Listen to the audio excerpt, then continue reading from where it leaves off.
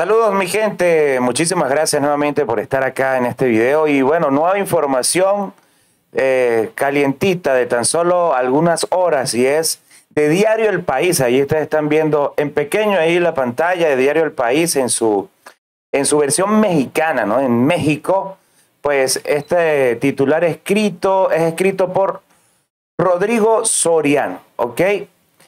Y es una información muy importante y voy a hablar rápido en este video para que tenga más impacto y es en relación ¿no? a este caso de María Fernanda Sánchez que como ustedes saben desapareció el día 22, día sábado 22, eh, al parecer en su residencia y no se sabe absolutamente más nada. La ola de apoyo en redes sociales es eh, inigualable, ¿no? Pero se necesita aún más apoyo y por eso estamos acá, ¿no? Tratando de llevar eh, lo poco que sale de este caso, recuerden que es en Alemania, en Berlín, ¿no? en Europa que están sucediendo estos hechos. Y por acá, Diario El País no tiene, nos tiene algo muy relevante sobre el caso.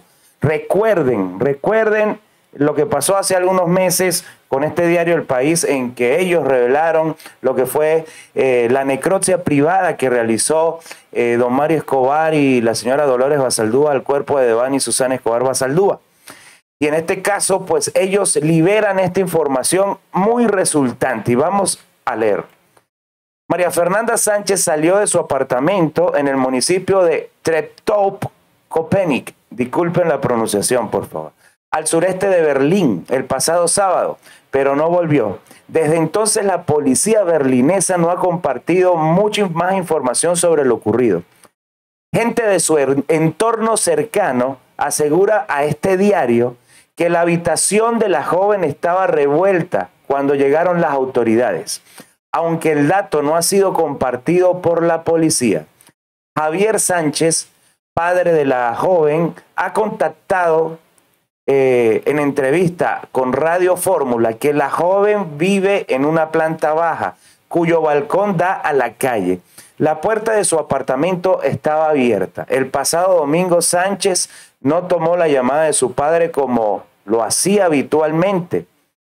Todos los domingos nos recibe una llamada, pero no pasó ese fin de semana.